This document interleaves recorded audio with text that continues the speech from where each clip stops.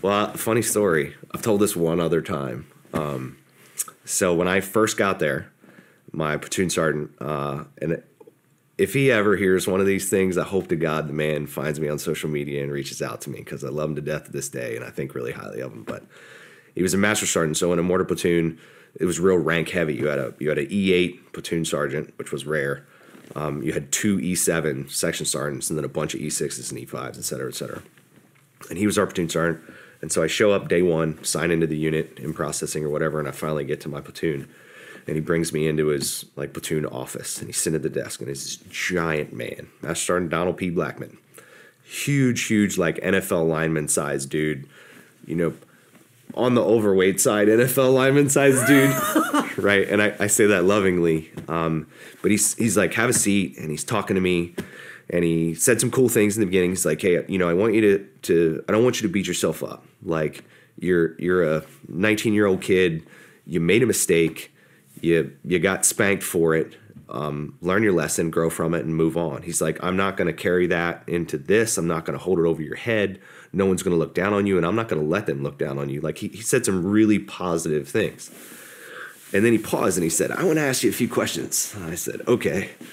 And he said, Ranger Battalion. I was never in the Ranger Battalion. He's like, but you know, I've seen them, I, you know, know what they've done in the past, and learned a little about them. And I said, yes, Sergeant. And he said, uh, there's not a lot of black fellas in the Ranger Regiment. And he was a black guy.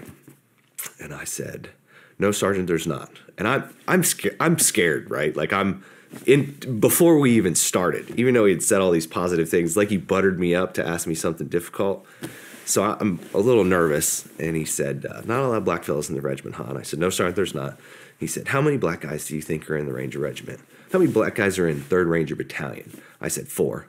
Just like that. And he like jumped in his seat and he went, you know there's only four? And me, I go, well, I mean, when you're in the dining facility, Sergeant, it's not that hard. Like, there's just not that many guys. I said, I think there's like four. And he goes, huh. And he leans forward in his chair and he leans over the desk to close the distance and he says, Why do you think that is? And I thought, in probably a split that second, my brain went, shit. If I say whatever, he's gonna know that I'm lying to him and I've now set the conditions for our relationship for the rest of my time here. If I tell him what I really think, he might punch me in the face or he might respect what I have to say. And so I rolled the dice and I said, I'm just going to tell him the truth, or at least what I really think to be the truth. Remember, I was an ocean lifeguard. And I said, honestly, Sergeant, I think it's because black guys have trouble passing the swim test. And he paused and then he busted out laughing and he said, You're goddamn right. I can't swim a lick. Holy shit. and we had a laugh and, and you know, and he said, he, right then and there, he said, You're all right, Van Zant. He's like, I, I like you and I think you're going to do just fine. And so fast forward a while later in the platoon, and we, you know, one night in in Kuwait, like we had a long conversation about it. He's like, "Yeah, man." He's like, they come from different places. He's like, but a lot of black guys that end up in the service, they grew up in the inner city or they grew up someplace where they didn't have pools, they didn't have access, they didn't swim. Yeah, that's a so good point. you can you can call it a stereotype. You know, nowadays it's like people will come after you if you said something like that. There was no there was nothing racist or anything in any of that. It was it was matter of fact, and, and it was true to the regiment and and in a lot of units. And I think they came up with ways to combat that. Like, yeah, you know what? We do have some people that grow up and don't swim, so let's afford them an opportunity to learn and to practice so they can be successful in some of those courses and they're not limited by their background or experience prior service. Um, so yeah, it, it was a uh, it was a funny moment um, that led to a much deeper relationship and a more honest relationship between the two of us. Uh, and he was a really good leader. Like he was a smart guy. He pushed us when we were in the desert. Uh, he genuinely cared about the army and he cared about me, and I knew that.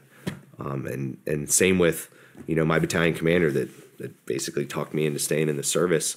You know those guys took a personal interest in me as a human being, and it stuck with me forever. Like as a leader, you know, and then even now, like you can have an impact on a single individual's life, sometimes just with the words that you use Yeah. and showing them that you care or taking the time to listen to their story or to share yours can make a difference in their life for you know, fucking 10, 20 years to come.